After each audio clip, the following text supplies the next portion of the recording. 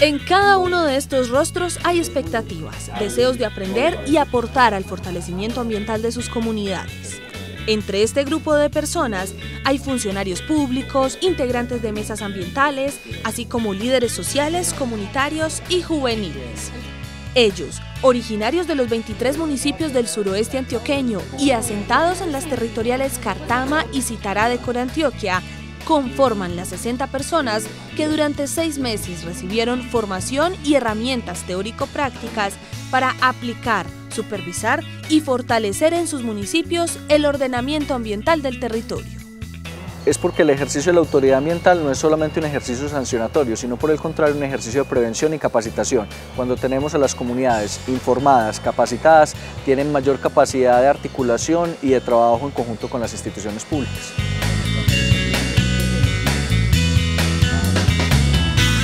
Luis Alfonso Parra es el coordinador de la empresa de servicios públicos de Támesis y Wilson Gamboa dirige la mesa ambiental del municipio de Andes. Ambos tienen como objetivo desde distintos puntos de su quehacer la protección del medio ambiente en sus poblaciones. Por eso, se capacitaron en los diplomados sobre el ordenamiento ambiental territorial ofrecidos por Corantioquia para la construcción de cultura y ética ciudadana el fortalecimiento de organizaciones sociales y la gestión ambiental.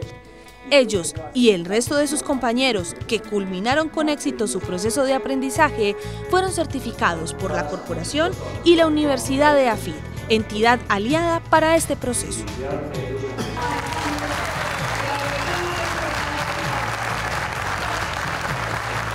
Y dado el alcance y el nivel académico que hemos que hemos adquirido con este diplomado, pues nos dan unas herramientas eh, muy, muy, muy importantes para afrontar la problemática y esa concertación desde los esquemas de ordenamiento territorial que en últimas afectarán los espacios económicos, culturales y eh, económicos de nuestro territorio. El insumo que tenemos de, eh, de este diplomado fue fundamental para poder ayudar y terminar de construir el plan, básico, el plan básico de ordenamiento territorial, en este caso para el municipio de Andes.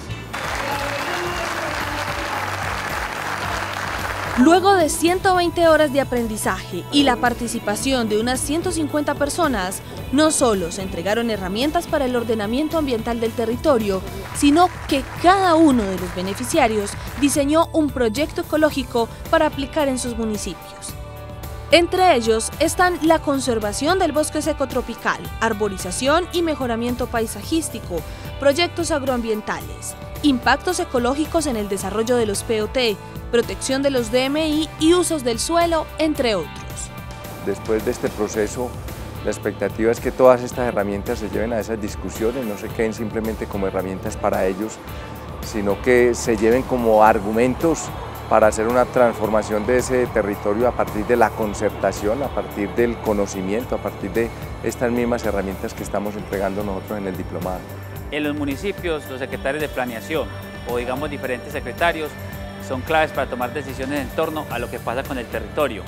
Pero si a eso no le combinamos los líderes, comunales, de organizaciones que son fundamentales para nosotros, nunca vamos a poder estructurar una proyección del territorio como queremos y desde un enfoque ambiental que es muy importante para estos procesos.